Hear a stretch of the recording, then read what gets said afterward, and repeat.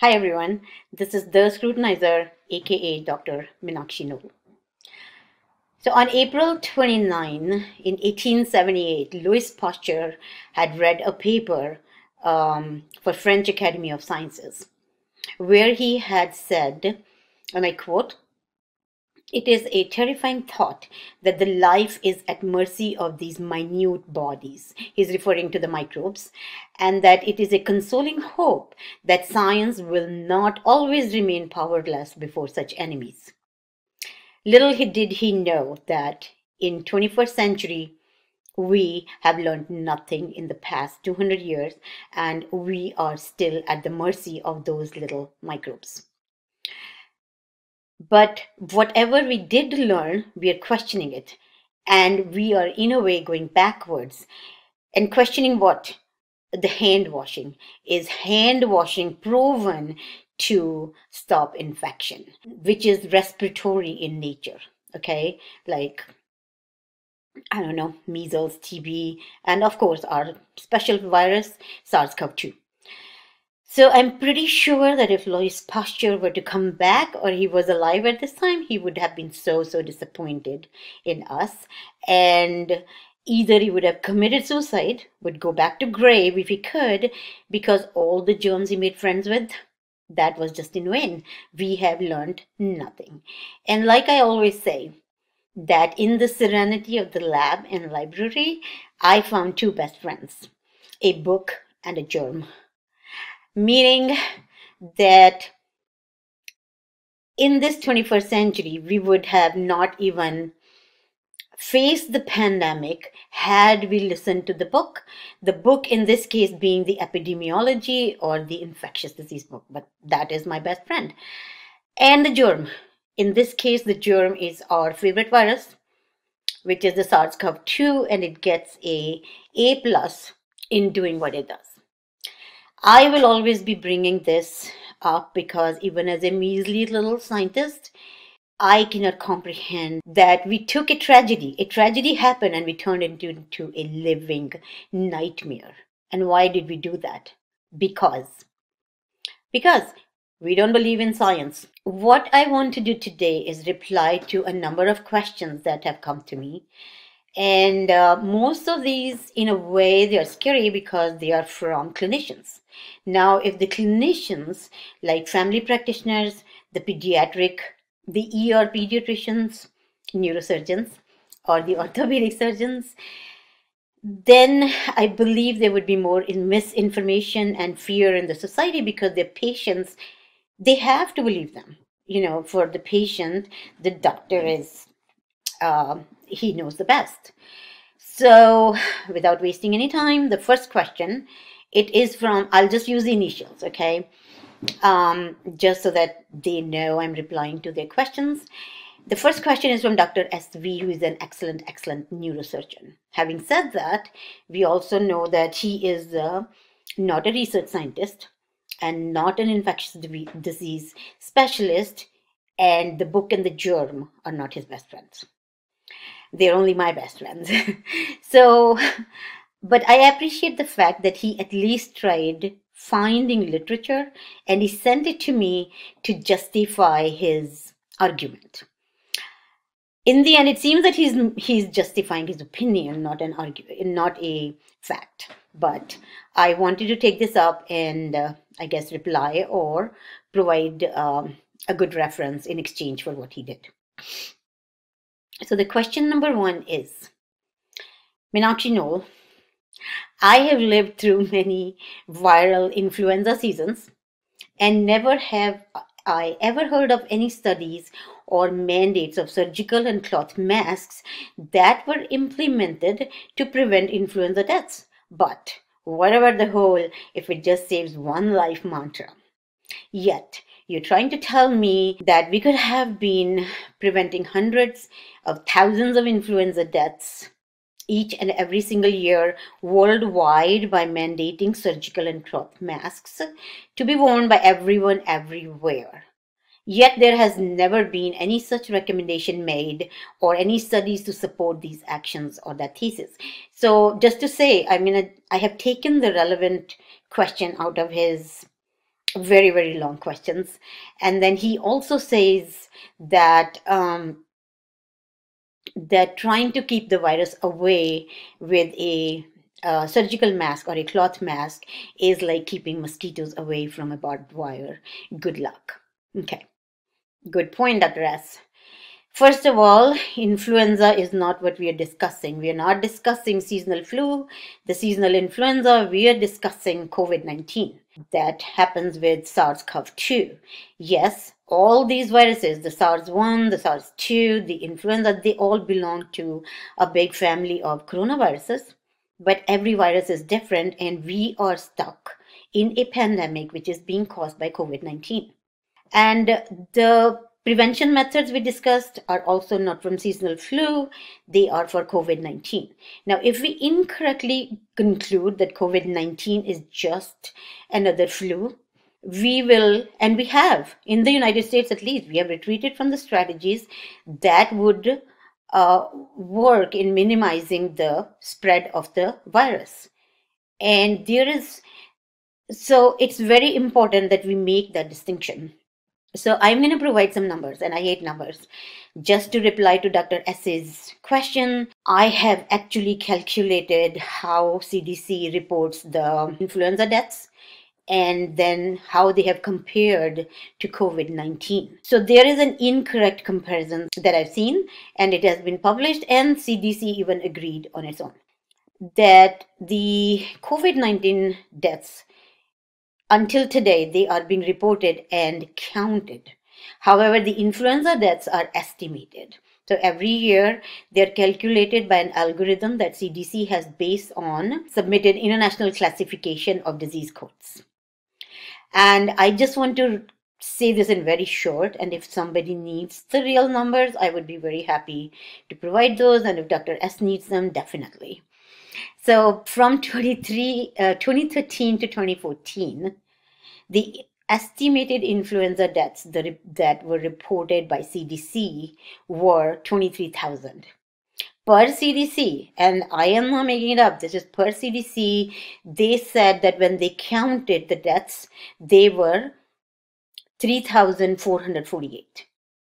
Similarly, in 2018 to 2019, the estimated deaths, influenza deaths, that CDC reported were 61,000.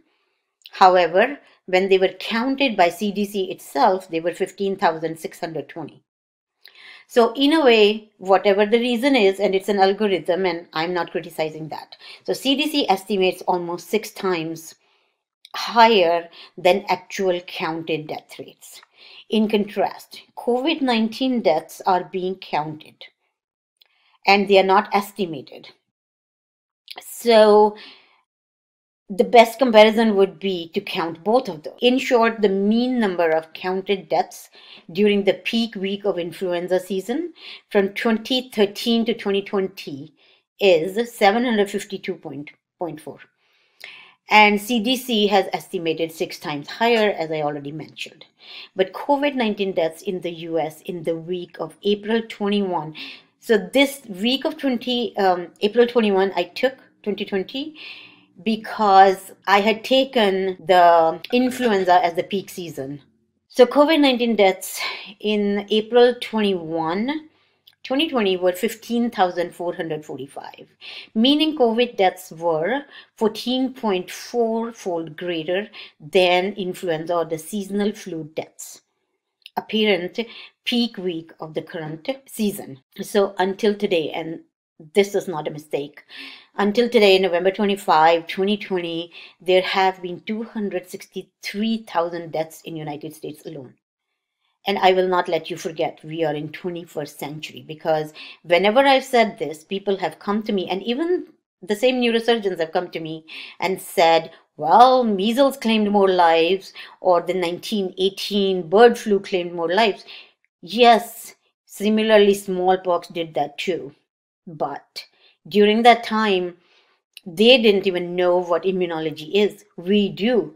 And remember, we have a book, we have a germ. So the explanation is that coronavirus kills between 9.5 to 44 times more people than the seasonal flu. In other words, Dr. S, coronavirus is not anything like flu. It is much, much worse. But secondly, seasonal flu, as I know, is an upper respiratory illness and lower tract is only involved if if the person gets pneumonia infection which they do because of the vulnerable people there are.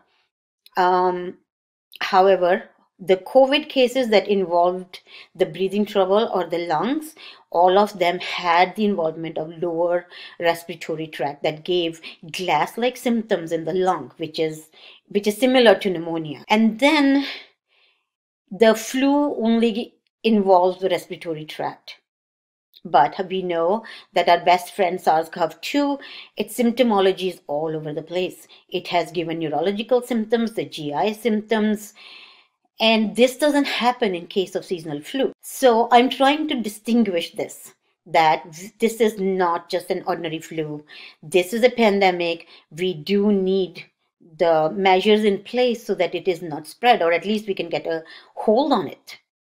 Lastly, I want everyone, or at least Dr. S, to look at the published genomic sequence of COVID 19 that had come out in um, January 2020.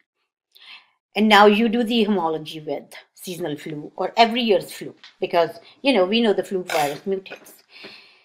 What similarity do you see? And that should tell you that we are dealing with a pandemic which does not involve just another flu. So the question two from Dr. S is Meenakshi, to address your question directly, a mask that does indeed filter out viral particles could perhaps prevent someone from potentially getting sick. If indeed the mask is truly a viral filter, however, not all masks are created equal regarding specifically to surgical masks and cloth masks they were not made to filter viral particles, nor do they filter viral particles. Surgical masks are used to prevent bacterial contamination or infection in open wound, surgical wounds, not to prevent viral transmission. Yes. As I have mentioned before, I have I have articles and I have some videos and Dr. S, I gave you the links to those. So the masks are not designed as bacterial or viral or dust filters. They are designed with pore size. So anything falling in that particular pore size of that mask, it would be filtered out. Whatever the contaminant is, bacteria, virus, an elephant, I don't care. So as I as I have explained in my previous um, articles also that N95 is the only mask that can filter out particles less than 0.1 micron meters. Okay, so I have laid stress on how the clinicians who go who come in contact with the COVID patients, or even you, if you go to the hospital, you're a neurosurgeon, you definitely on everyday basis need to wear an N95. It's called an N95 because it uh, filters out the viral particles which are less than 0.1 micron meter with 95% efficiency. That's the best we got. For the rest of us who are not coming in contact with patients, we are just going out to run errands, we can get away with a and I quote with what Dr. S says, a loose fitting surgical device or a cloth mask. So the surgical or the paper mask, it has a complicated network of fibers and much smaller pores in multiple layers in comparison to the cloth masks. So they still have a filtering efficiency. Does not mean that if they are filtering particles less than 0.1 micrometers, but they are they could be prevented to going uh, inside the mask. And this is where your question of that the mask can make people sick comes in to which I have responded to the people in my article and in my video that that the proper disposal is very important because the cloth masks are going to filter 80 to 500 micrometer cloths. And i looked at literature and in 2020 within the past six months there are numerous and these are really great studies. These are done with uh, physicists in uh, collaboration with the life scientists, where they have taken the trajectory, the the pressure, um, you know, around the loose fitting devices, so called, uh, and the cloth mask that if we are not in a COVID heavy area, if we are not a clinician, then we can get away and not um, not catch COVID. So this is uh, so the the right use and the right disposal method comes into picture. So our virus, to reiterate again, is 0.12 micrometers in size and literature states that 5 micron meter or smaller. Particles in size can remain airborne indefinitely under most indoor conditions, not outdoors, indoors. So this tells us we do not want these particles inside our living space or in your office or especially in the dental office. Okay. Question number three is Meenakshi Noll. We do not wear surgical masks to prevent viral transmissions. However, typical loose fitting surgical mask or cloth mask is not made nor intended to be used for viral protection. Surgical masks are used to prevent bacterial contamination or infections in open wound, uh, open surgical wounds, not to prevent viral transmissions. Yet, this has been brought to the question. So now we're going to discuss. Uh, I think there are two or three references that Dr. S sent to me, and I'm going to discuss those. And this is regarding um, the use of the surgical face masks in an OR setting. Because now, apparently, we have so much time at hand. We don't need to deal with pandemic. We're going to question the already um, protocol in place that we need to wear a surgical mask if we are operating on a patient, and that is yes, to prevent infection in the patient. However, we want to use the resources the time. Let's do it. Uh, he has sent me this reference, which is, um, let me see. So does evidence-based, so he, he's questioning this. Dr. S is saying that does evidence-based medicine support the effectiveness of surgical face masks in preventing post-operative wound infections in elective surgery?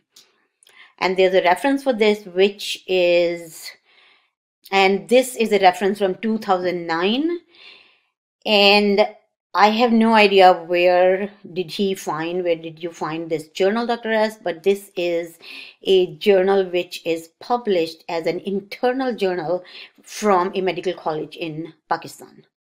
Okay, it's indexed because they took a uh, French indexing number, which is none of my concern. But the point is, this is a systematic review. The author says it's a systematic review, and they are only looking for surgeries which were for clean wound. Okay, so out of 250 citations, so you have to read this whole article, you have to look at the statistics and then decide what they're saying and whether we can agree or not. You took the first sentence that you liked from their abstract. Okay, so I looked at, as a biochemist, I have to look at statistics and I have to read the entire article. It's a four page review article, and they, out of 250 citations, they have taken 84 uh, relevant studies. And then they say that out of these 84 relevant studies, there were only 13 that were considered to be potentially relevant. Now, out of these 13, there are only two trials that match the inclusion criteria. It is a very narrow criteria because they're only looking for a clean wound surgery and in the present and presence and absence of a surgical mask. And I'm not sure how, based on this, the authors have reached the conclusion that, and I quote, they're saying, with or without masks, the infection rate was same. Rather, infection decreased with discarding the masks completely in 1980.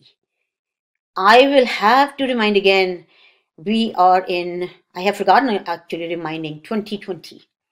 Why are we looking at 1980 and that also one study? Now, the same authors then further, they have stated that surgical face masks are still a means of protection for surgeons to help avoid contact with the face and mucous membranes. Therefore, they should be worn by the theater staff. So, contradicting their own conclusion or actually giving a good discussion. That's what I would say a good discussion.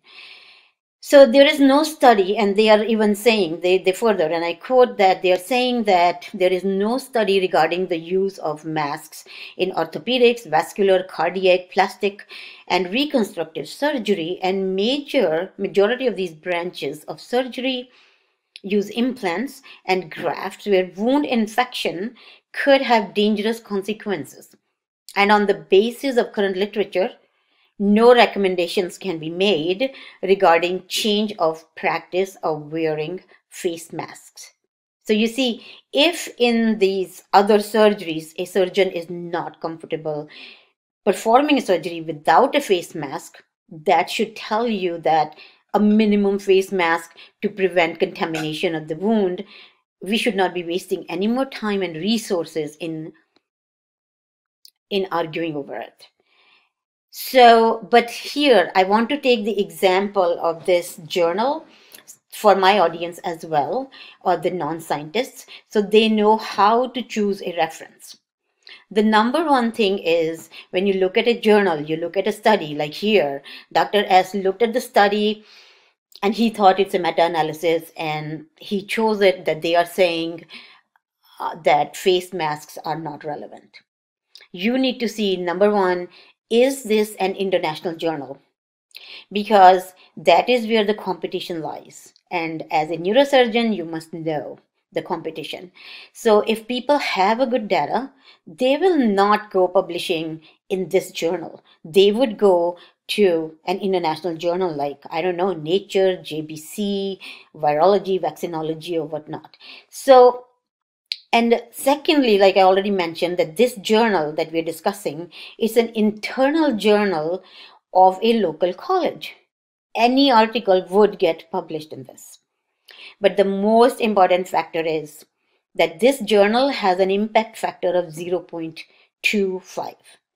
In comparison, to give you an idea, Nature, the journal Nature, it has an impact factor of 45.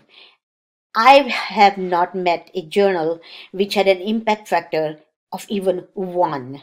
So no one uses articles from these journals to make a statement uh, to say or um, to make a mandate, okay? Because there is a non existent impact factor. A non existent impact factor tells you uh, people don't read it and the studies are local or they they would always be published and this they are not statistically sound or experimentally. Okay so the reference to this is from the nursing times from 2003 again we are in 2020 however in this nursing i'm not going to go into those details because the journal authors they themselves have said here that currently there is little evidence that wearing a surgical mask provides sufficient protection from all hazards.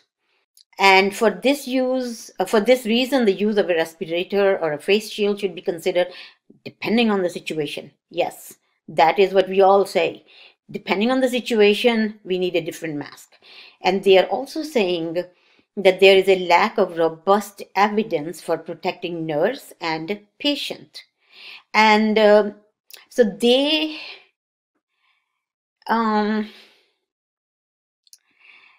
so they are citing the same reference from Sackett et al. in 1996 that you, Dr. S, has taken a sentence out of it that that this remains to be debated.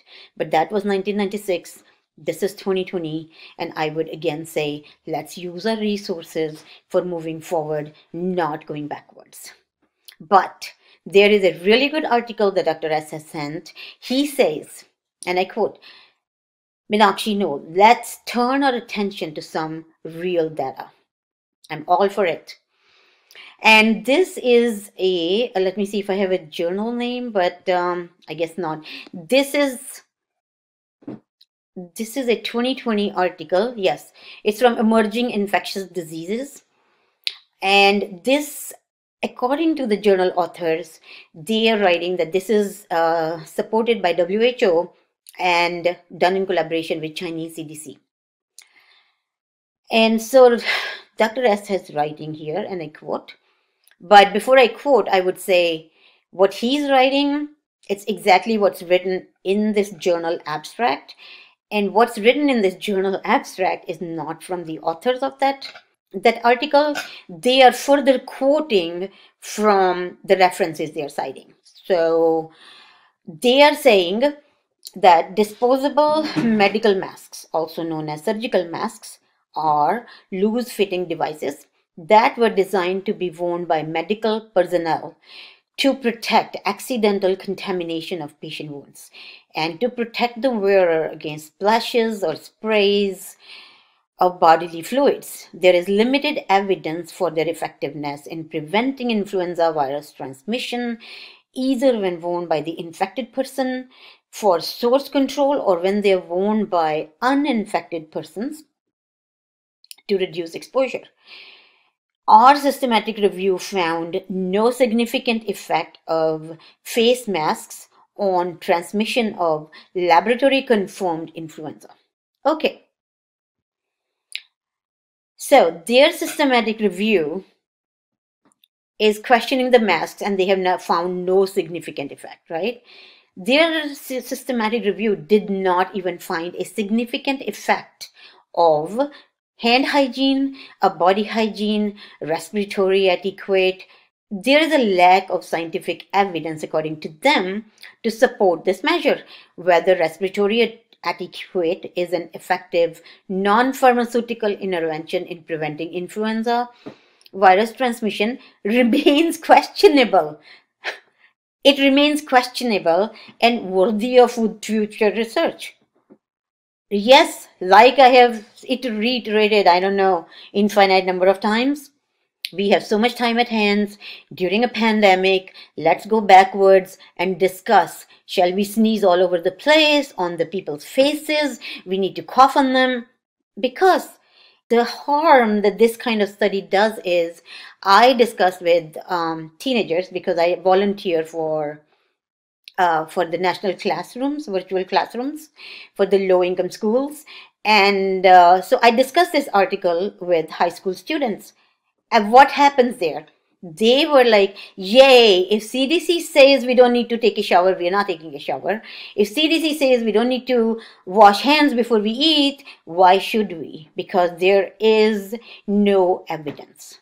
I leave it to all of you to decide shall we just go back.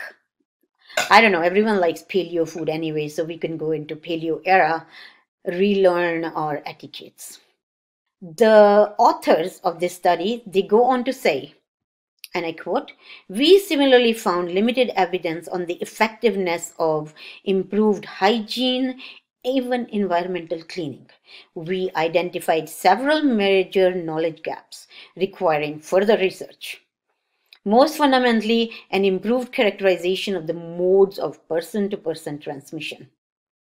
Hello, influenza, aerosols, or the droplets, or the breath. I don't know. So now I read this whole article and I've read it very thoroughly. I've and one thing I always do is I check each and every reference and I read their references.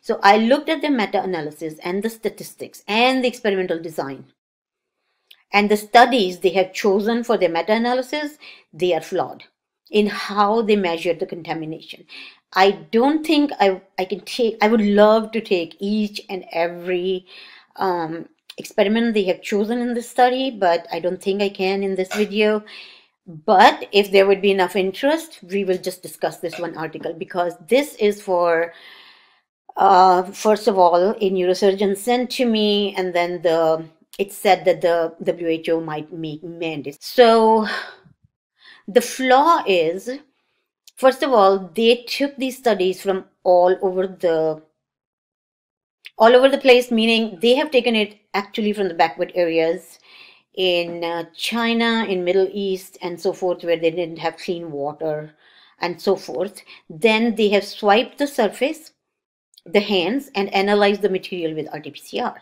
now that does not mean that there was no contamination.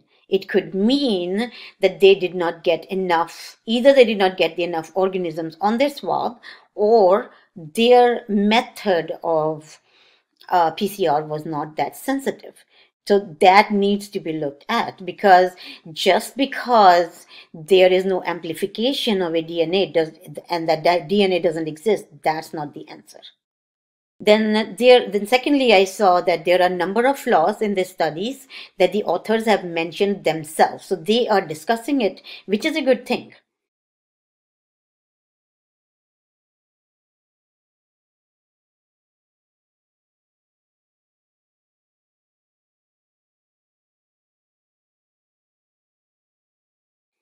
So I I'm pretty sure or I don't know how WHO can make mandates from this because the data is all over the place. And lastly, the authors have not taken into account any good recent articles. Had they done a thorough search of the of the literature like they're supposed to do it. If they are doing a meta analysis, they're doing a systematic review, they are supposed to look at the past 100 years of literature starting from today. So from here, they are saying they don't know if the transmission is via aerosols or how this influenza virus or the COVID is um, transmitted. And then they don't know the temperature, they don't know the humidity. Then they're saying more research is needed to know should we wash our hands, uh, should there be respiratory etiquette, or what is that? I really want to quote Einstein here when he says, Is it I or the world is crazy? So the authors are stating that it's essential to note that the mechanism of person to person transmission have not yet fully determined. Controversy remains over the transmission through fine particle aerosols. Thus, the efforts to control the next pandemic you see, we haven't controlled this pandemic, but the authors are saying the efforts to control the next pandemic will rely largely on non-pharmaceutical interventions. And they're, they are citing all this from a reference in this article. It's reference number 46, which comes from another WHO collaborative study with China CDC. Okay, so basically they are saying they don't know how influenza virus is transmitted, and so that's why they don't know what a non pharmaceutical measure should be. I guess the scrutinizer comes in, and I would provide you with the excellent references that you are welcome to read and debate with me. So, there are four suspected modes of influenza virus transmission which is through number one, direct physical contact with an infected individual, or number two, transmission via intermediate, often inanimate objects. These are called fomites. Number three is transmission via droplets. They are expelled from infected individual by sneezing or coughing that deposit on nasal or oral mucosa of the susceptible individuals. And number four are the airborne transmissions via expelled particles, which are 2.5 uh, micrometers in radius, radius, okay, or less than 2.5. And these are referred to as a droplet nuclei, and these are the ones that remain suspended in air as aerosols for extended period of time. Okay, so now this all depends on humidity and so from um, I'm I'm going to take an example of a really great article from PNAS. I think it's from PNAS. Uh, I'm taking that one because these authors, their article came out in 2020. Basically, this article is saying because these are physicists, so they they have their own bickering platform where they are saying relative humidity is better or absolute humidity is better to explain the vapor pressure or the concentration um, of these droplets. Okay, so it doesn't bother us as much because if we can have an answer. So relative humidity, it is the ratio of the actual vapor pressure or the concentration to the saturation vapor pressure. Okay, so means it is defined as the equilibrium partial pressure of water vapor above a flat surface. I'm mentioning this so everyone knows that just to say that the transmission happens from a cough or how the particle travels it's not just that simple.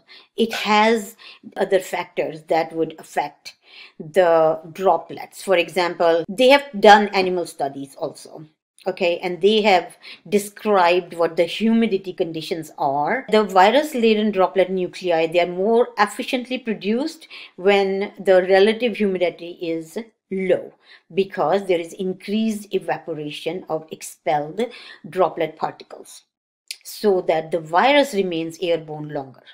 Okay meaning the influenza virus survival increases as relative humidity decreases or that the airborne virus will remain uh, viable longer at a low relative humidity then there is a question of sedimentation because somebody coughs, these are the particles, and these are virus laden droplets. And so it's not that they coughed and it just fell on the surface. Now there are other forces that are at play. These are two opposing forces gravitational acceleration, which will bring the particle towards the surface of the earth. And then there is Stokes factor, the drag force, a friction, which provides acceleration opposite to the particle motion away from the surface. So I am saying in short that just to say how the particle is transmitted, how long it stays, we can't just we can't just look at say six feet the mandate that was done was based on the size of this virus and that we just assume just so that we can have some hold on this epidemic okay if we are standing outside, there is wind, there's trajectory, then there are these other forces of nature that come into play. So there are a lot of really, really good uh, studies that are out there now that can explain how and why the influenza virus is transmitted, how it survives, and uh, how long. Okay? But i before i finish i want to really go over this really excellent excellent study because it came in june 15th of june 2020 and i actually and it's it's an indoor air but what i appreciate is that this was just a um, they were reporting about a rehearsal of a about a weekly rehearsal uh, of singing. So they did their due diligence that they had six feet apart the seats. They took the names, ages, contact of every person that was involved, and there were 53 people. And it was found out that after that, two of those people died and they had contracted COVID. And when they looked at it, the their the director is the one who was infected with COVID. So they actually turned this opportunity, I must say, as an opportunistic, very opportunistic of them, um, to study how the infection would spread. So they looked at the index case, who would have been seated in proximity to a small uh, proportion of the members. If the infection only spread at short distance or from mouth to mouth, then it would have been low.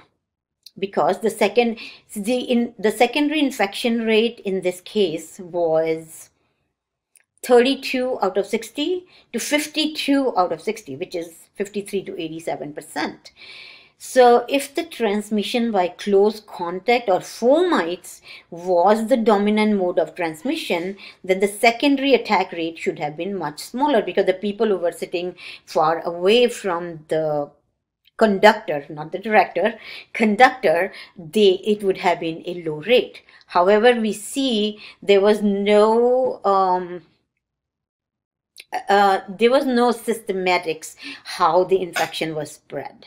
So the secondary cases, being 53 to 87 percent, show that it is a respiratory aerosol is the mode of transmission because it's a shared air that was leading the mode of transmission. And from here, they have done other studies also, and um, meaning they have taken, they have determined the average airborne quanta concentration uh, from the reported secondary infection rate. And uh, like I said, if people would be interested, I would take each and every of these studies and we can have one discussion per, uh, per, uh, per of these articles.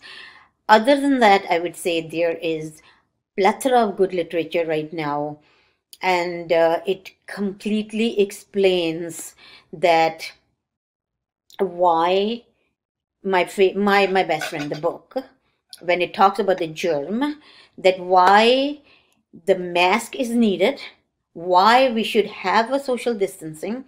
Now lockdown lockdown i would be explaining in different next video because it is very long but lockdown would have been beneficial if we did it right in the beginning. Now I, I even i don't know how to do this. So the lockdown now being done is so to say that if the virus does not find another host maybe we can get a foot maybe we can get a hold on the virus or the virus can lose a foothold because this virus, any virus has to multiply in a host. Now, when there are no hosts available, and that brings me to the, I don't want to hear about the herd immunity in, in the absence of a vaccine, and I would explain it. But if we are maintaining these three criteria, having a social uh, distancing, a mask, and kind of lockdown means to just stop the movement after one year, I don't know if we can do it or should do it, but the previous two things, yes. So then it's possible that the virus will not find new hosts. It doesn't find new hosts, it cannot replicate, and it would go into into uh, it will become dormant. It will go into dormancy. It will come back. It's an influenza virus after all. So um, these are the answers for today, and I have quite a few more interesting questions, uh, which I will take, uh, which I'll be replying in the next video. And so for now, as I always say, think critically. In this case, I would also say, try reading My Best Friends, the book and the germ, and stay healthy. Okay? The Scrutinizer out.